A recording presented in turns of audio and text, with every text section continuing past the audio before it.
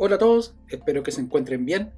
Voy a seguir trabajando con el robot que hice ayer y la idea que en este video veamos cómo se genera un render. Para los que no saben lo que es un render, es una imagen fotorrealista de un objeto, de un prototipo, aplicando materiales, cámara y luces. Ahora eh, Fusion 360, esta plataforma siendo bien honesto, no está todavía bien trabajada. Creo que le faltan muchas cosas. Pero hay que pensar que Fusion 360 está pensado en una cosa productiva y no tanto de representación o comunicación. Pero con, lo, con las herramientas que tiene en render eh, se pueden hacer cosas muy buenas. Entonces, la idea de este video, vamos a trabajar con este robot que es bastante sencillo vamos a aplicar materiales que vienen en la biblioteca de Fusion 360 y en otros videos eh, que tengo acá arriba en la descripción pueden ver cómo se va, pueden generar nuestros propios materiales y bajar un entorno desde la web. Entonces este video solamente vamos a trabajar con los materiales genéricos. En el video que hice el robot, e, este objeto que lo saqué de la web era, está hecho de madera pero acá vamos a combinar eh, materiales poliméricos, madera también. Entonces va a ser como un híbrido de, varios eh, materiales para ejemplificar cómo se trabaja en Fusion 360 en lo que es render. Lo primero, que obviamente tenemos que tener nuestro objeto. Lo segundo, como este juguete eh, tiene algunos movimientos, yo puedo obviamente hacer que que se vea más dinámico, por ejemplo, ahí con los bracitos adelante, la cabeza del frente y la boca desfasada. Entonces, esa es la posición que yo quiero que sea mi render. Por ahí. O sea, la imagen fotorrealista podría tener esa, esa posición, ¿no es cierto?, de los movimientos de las piezas. No así eh, del entorno, porque yo podría mover el objeto en el espacio, ¿no es cierto? Y yo podría representarlo así, o así, o acá.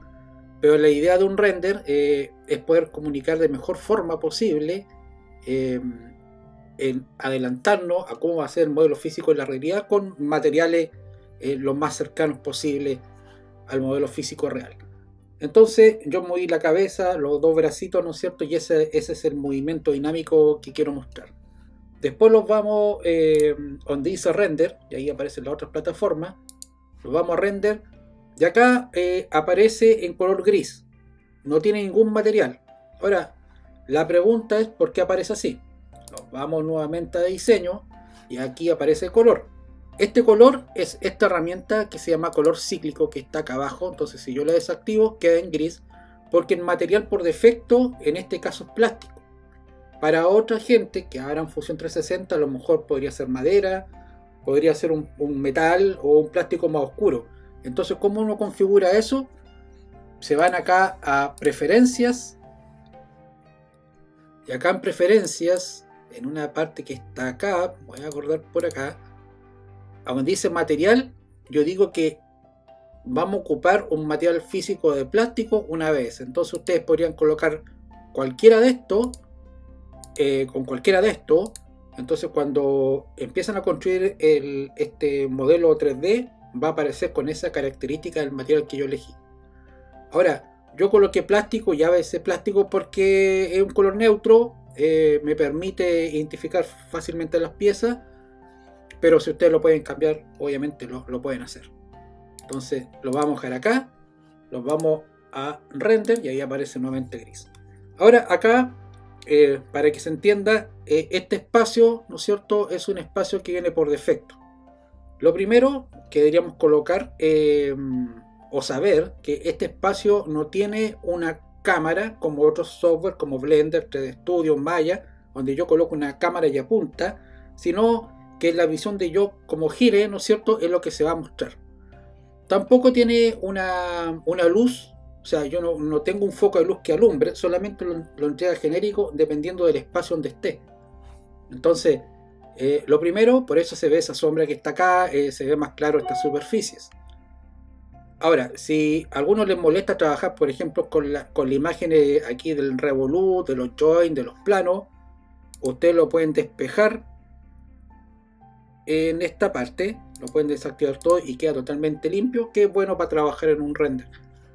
Primero eh, los vamos a la apariencia que son los materiales. Entonces aquí aparece eh, una, un cuadro donde van a aparecer todos los materiales. Entonces vamos a aplicar algunos, por ejemplo, el, cuerpo de esta caja, vamos a buscar, eh, no sé, podría ser cualquiera de estos que está acá. Aquí estamos en fusión 360. Si yo pincho, por ejemplo, no sé, veamos uno, stone, plástico, por ejemplo, plástico. Entonces en plástico, acá, aparecen todos los, materiales, opaco, texturado, transparente, translúcido, etc. Uno puede bajar, por ejemplo, madera. Entonces aquí madera también tiene varios, eh, obviamente aparecen especies mm, exóticas, otras más tradicionales, etc. Y acá tengo sin finalizar, color sólido. Entonces la madera puede ser mm, miles de alternativas. Yo voy a trabajar en la última. Entonces aquí aparece, por ejemplo, pino. Entonces es el pino que, vamos a ocupar, ¿no es cierto?, como material. Yo podría tomarlo y lo arrastro y ahí queda el, el pino puesto. Entonces, al momento que yo lo arrastré, aparece el slot donde ahí está el pino. Ahora el pino, esta, este material tiene sus vetas, tiene su anillo de crecimiento y uno podría eh, controlar esa característica de propiamente el material. Entonces, acá en mapa de textura, que está acá, yo puedo, por ejemplo, agarrar, eh, seleccionar el cuerpo y yo lo podría desplazar, ¿no es cierto? Y obviamente se desplaza también, yo lo podría girar y uno empieza a ver qué es lo que le sirve y qué no le sirve. Por ejemplo, no me gustaría, por ejemplo, que se diese el anillo de crecimiento, lo podría dejar así. O lo podría girar. Entonces uno va a jugando. Ahora, eh, la proyección, aquí mm, aparece un eje, que el eje donde se va a alinear eh, esta textura. Y ahí uno empieza a probar eh, qué les conviene mejor. Eh, es simplemente un juego del, del, material. Pero también eh, en esta parte, si yo le hago un doble clic, yo puedo jugar con el color. Por ejemplo, lo quiero más rojizo, lo quiero más claro, lo quiero más celeste. A lo mejor es un pino que está pintado, ¿no es cierto? Y podría ser perfectamente ese. También existen todas estas alternativas dependiendo mucho del material. Por ejemplo, las rayas, si yo saco right, eh, no se ven unas rayas que tienen muy fino el pino y los poros igual. Ahí se ven unos poros. En, realidad son rajaduras técnicamente. Ahí se ve. Después aparecen eh, estos que se ring bam. Significa que estos niños de crecimiento se pueden marcar más o menos. Y así uno empieza a jugar con las diferentes variables que pueden entregar, ¿no es cierto?, esta, esta nomenclatura de este, este material. Se fijan, ahí se hace muy tupido. Entonces uno empieza ahí a, a ver lo que uno más le conviene.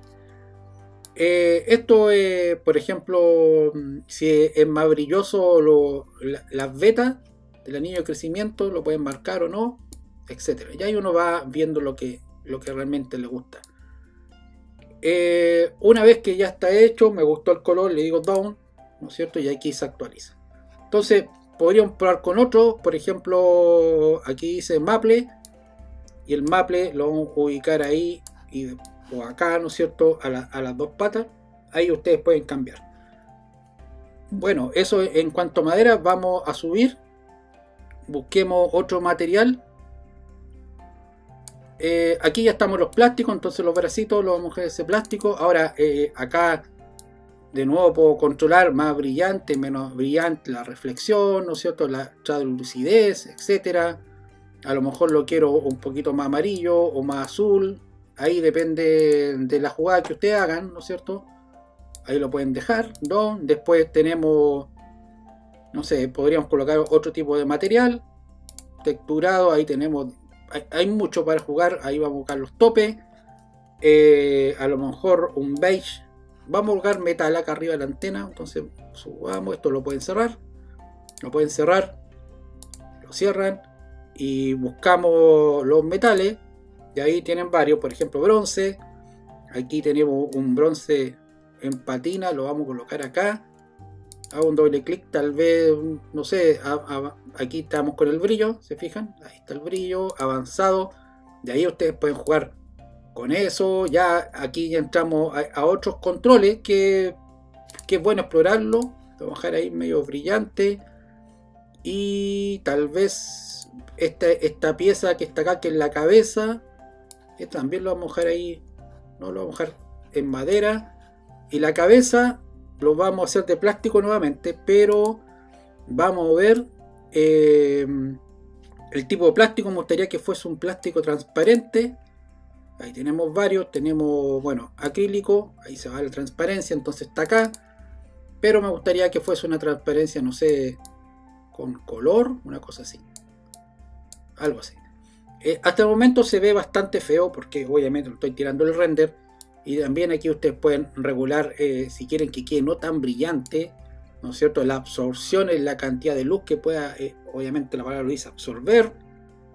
Eh, acá también está una biblioteca de colores con la marca Pantone, ¿no? se pueden usar, ¿no es cierto? Y aquí también estamos ya en, cosas más, más específicas que ustedes lo podrían ver. Ok, entonces una vez que yo tengo el, material, ya ese es el material con cual voy a jugar, ¿no es cierto? Eh, primero vamos a ver cómo va a salir el render, en qué tamaño. Porque acá estamos en el escena setting, entonces esa es la escena, o sea, todo lo que está atrás o lo que soporta el piso de nuestro modelo 3D. Entonces, eh, primero hay que ver qué, cuál es el tamaño que yo quiero. Aquí tenemos cuadrado, presentación, screen, Landscape, Portrait y Custom Aspect Radio que está ahí. Si usted marca el primero, es toda la pantalla. Podríamos trabajar en, en que está ahí. Entonces todo lo que aparece dentro eh, de estas dos bandas grises que aparecen acá es lo que va a ser el render. Entonces el render yo lo voy a dejar, yo quiero que mi posición sea esa. Después de eso tengo eh, el environment, que es lo que, lo que está atrás, el background. Tengo puede ser un color sólido. O sea, yo aquí yo podría colocar un, por ejemplo, no sé, un rojo. Y tengo rojo en todo el entorno. No hay, no hay un cambio de tonalidad, ¿no es cierto? En un fondo o en el piso. Si yo quiero el environment, y acá me voy a la biblioteca de environment, tengo varias, aunque yo también podría bajar una. Por ejemplo, yo tomo esta y la arrastro y va a cambiar el color o esta y la arrastro también cambia. Entonces ahí se puede ver las luces que vienen por el efecto con ese tipo de environment. Podría yo colocarlo en una plaza.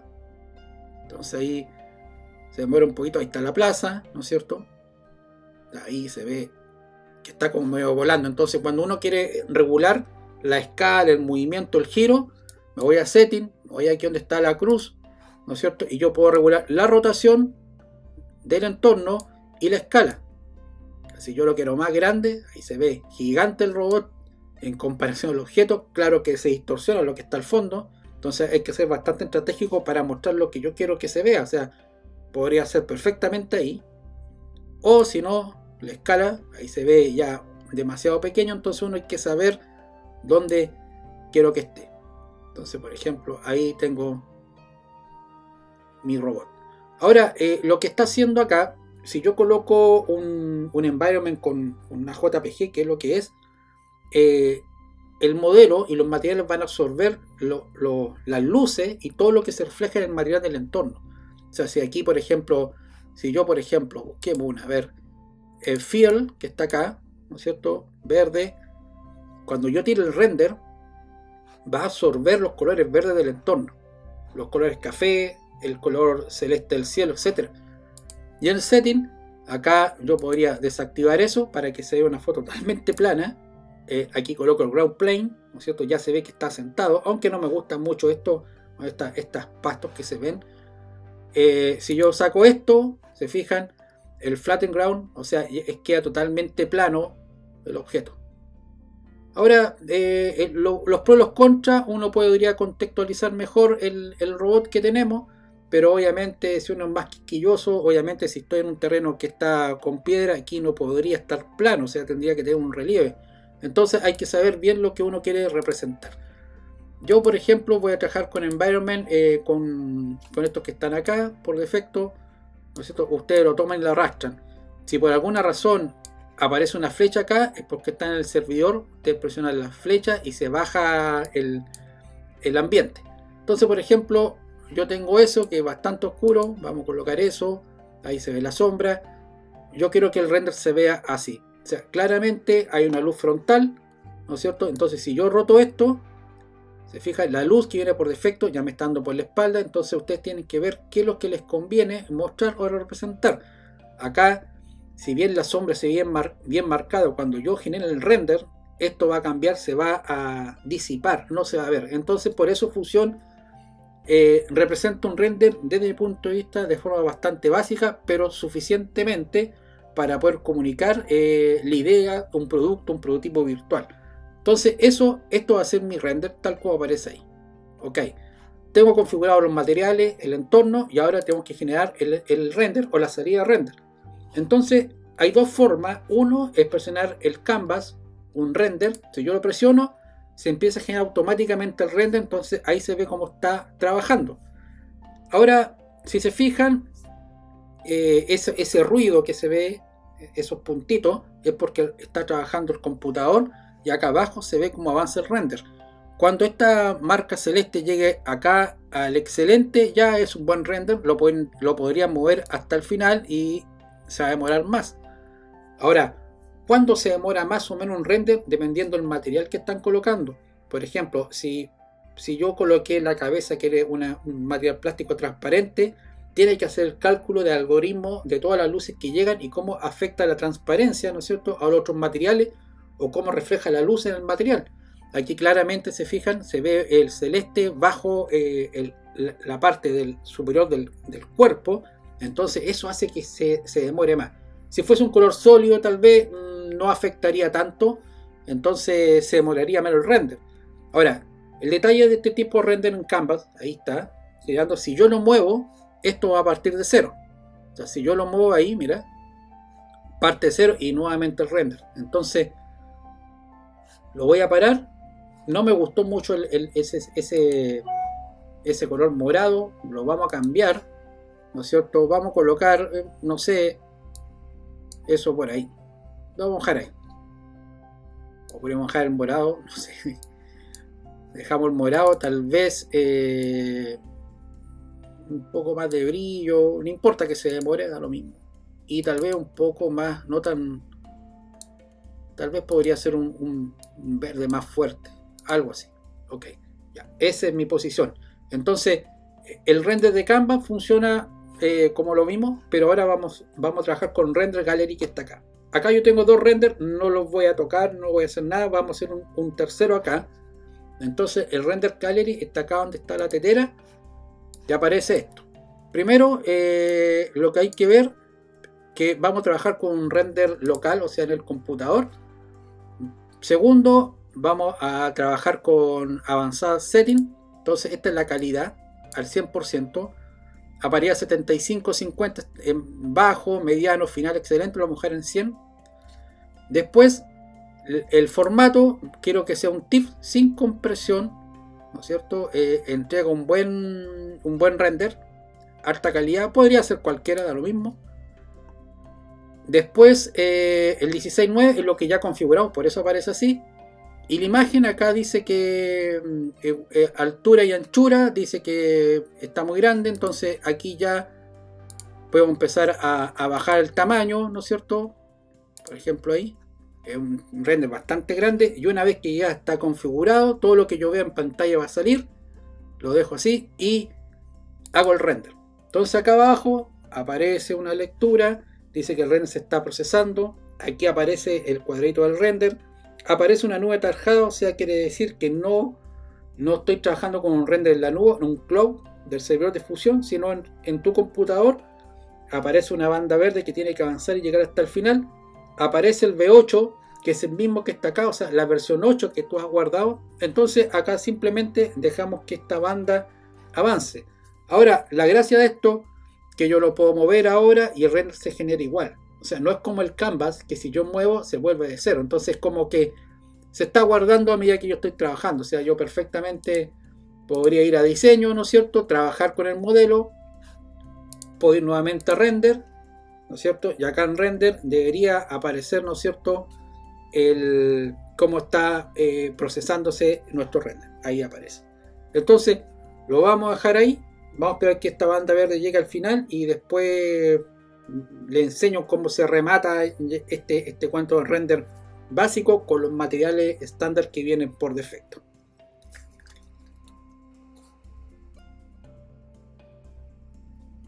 Bueno, acá se puede ver que terminó el render. Este, este Toonbile, ¿no es cierto? Es un preview de lo que es. Le hacemos un doble clic y ahí aparece nuestro, nuestro render pequeñito porque es un preview. Entonces ahora se puede ver hasta reflexión, ¿no es cierto? Se nota los materiales, eh, un, polímero semitransparente, madera, plástico y acero. Entonces ahora yo lo podría eliminar, pero obviamente no lo vamos a hacer. Lo vamos a bajar, entonces donde está esta flechita ustedes lo cliquean y lo voy a guardar en mi escritorio, hago un save y ahí ya se guardó. Entonces, ¿cuál es la gracia del Render Gallery? Que quedan guardados en su computador, entonces lo podrían consultar en cualquier momento. Entonces vamos a ver si esto es cierto. Nos vamos al escritorio y tendría que estar por acá. Ahí está nuestro, nuestro render, ¿no es cierto? Ya, bueno, aquí uno puede ver activo los errores. Está muy saturado de color. Tal vez eh, hubiera girado este bracito más arriba para que se hubiese visto en mayor plenitud. Pero mm, se puede mejorar, obviamente. Entonces después, no sé, lo pueden tirar a abrir con Photoshop, que yo no soy experto en este, en este programa, lo manejo muy poco. Y solamente lo, podría retocar algún contraste, cosas de ese tipo. Entonces ahí ustedes lo, lo, abren, ¿no es cierto? Y hacemos un OK. Ahí tenemos.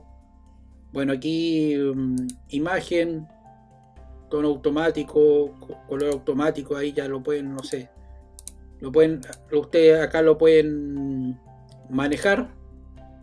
Los más expertos les va a ser mucho más fácil, me cuesta mucho, así que lo vamos a dejar ahí. Entonces después esto lo recortan, eh, si no les gusta no se moró tanto el render, entonces lo pueden cambiar de posición, podrían hacer otro render, cambiar los materiales, etc.